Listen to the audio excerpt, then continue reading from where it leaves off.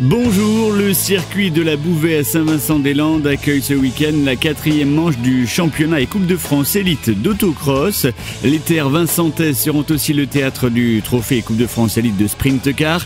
Au total, ce sont près de 250 pilotes qui font le déplacement.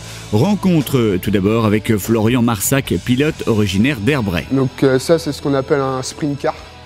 Donc c'est un, on peut appeler ça un petit buggy avec un moteur de moto.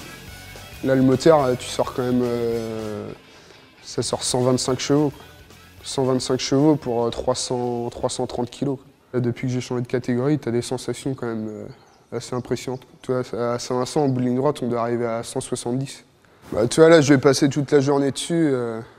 entre les pièces mécaniques que j'ai à changer, il y a tout ce qui est révision. Toutes les trois courses, il faut faire la révision du moteur, il faut changer l'huile, filtre à huile, comme une voiture. Ensuite, je vais essayer d'aller euh, faire quelques essais, voir si ça fonctionne bien. Et, euh, comment... et puis ensuite, euh, nettoyer l'engin pour être prêt le week-end d'après. C'est un très beau circuit pour une manche du championnat de France. En fait, l'avantage du circuit, c'est qu'il est technique et rapide.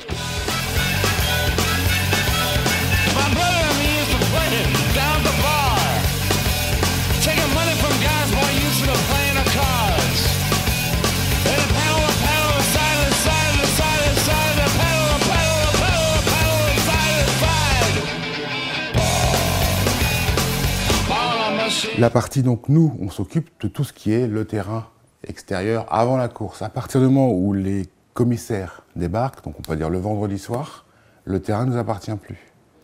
Alors, le public, ce qu'il aime bien voir, je pense que euh, les catégories tourisme, c'est un petit peu ce qui attire encore, quoi. Là, il y, a quand même euh, les Mini Cooper, là, il y a des gars qui ont monté les Mini Cooper, il y a, y a une Ford Fiesta, là, je sais qu'il y en a une autre en construction aussi ça, ça tire l'œil encore. Quand même. Et puis bon, c'est une piste quand même qui est réputée. Hein. Les pilotes, euh, ils aiment bien venir à Saint-Vincent, comme ils aiment bien venir à l'ouest, à Moron, tout ça, ça c'est clair. Une fois à Saint-Vincent, euh, ma chaussure, elle a carrément cassé dessous. Et euh, elle est venue se bloquer sous, sous la pédale de frein, en bout de ligne droite. Quoi. Donc bah, impossible de choper les freins. Donc, heureusement maintenant il y a un bac à sable au fond, de, au fond du circuit, au bout de la ligne droite. Quoi. Donc j'ai fini dans le bac à sable. Là, il n'y aura pas eu de bac à sable, je pense que. Et parmi les participants, quelques femmes, 18 précisément, dont une célébrité, Nathalie Marquet, ancienne Miss France et épouse de Jean-Pierre Pernaud.